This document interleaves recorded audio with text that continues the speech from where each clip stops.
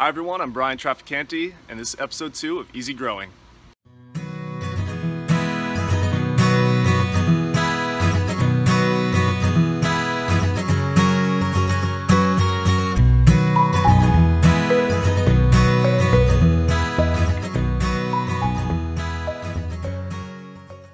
Alright, so today I'm going to be talking to you about a little less known gardening season, winter gardening, where we take advantage of the cooler weather here in South Florida, and if you're in South Texas, Southwest US, or even coastal California, now is a really, really great time to start growing a garden because it's not oppressively hot outside.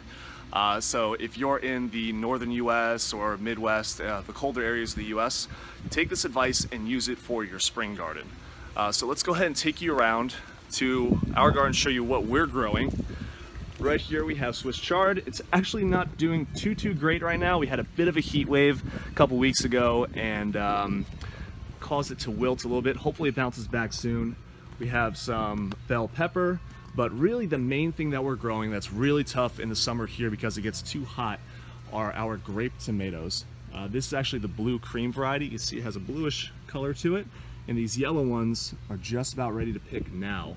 Uh, reason we grow them now is that during the summer when we get up to the mid 90s and it's really just the sun is really intense, it causes a lot of the plants to wilt and tomatoes to split and shrivel and things like that. So it gets very, very difficult.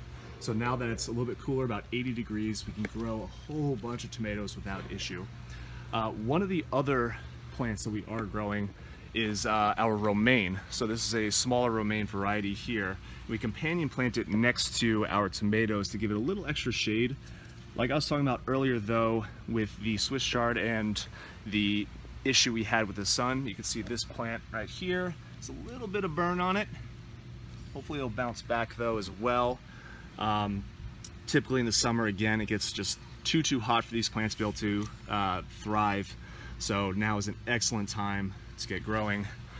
And uh, so if you're in South Florida, if you're in South Texas, Southwest US, Coast California, take advantage of this time now into January, into February, when it's finally a little bit cooler out and all your plants aren't going to have uh, burn and wilt and things like that because of the high temperatures. Take advantage of this time and start planting and growing.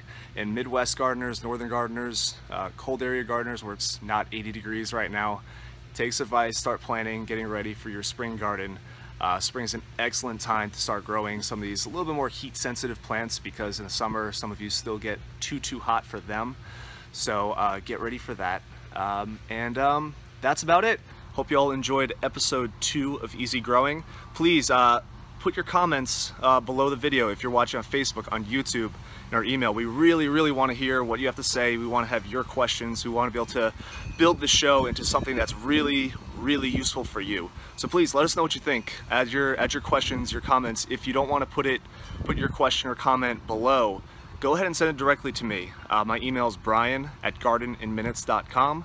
That's Bryan with a Y. I'll put it below the video so you can take a look and uh, find it more easily. And uh, other than that, hope you all have a wonderful day. Happy gardening.